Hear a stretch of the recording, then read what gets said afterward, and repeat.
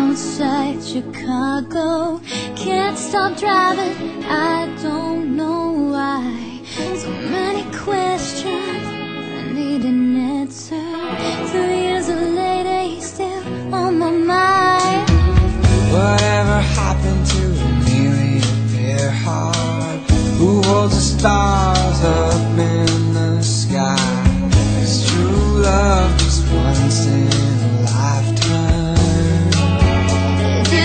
mountain of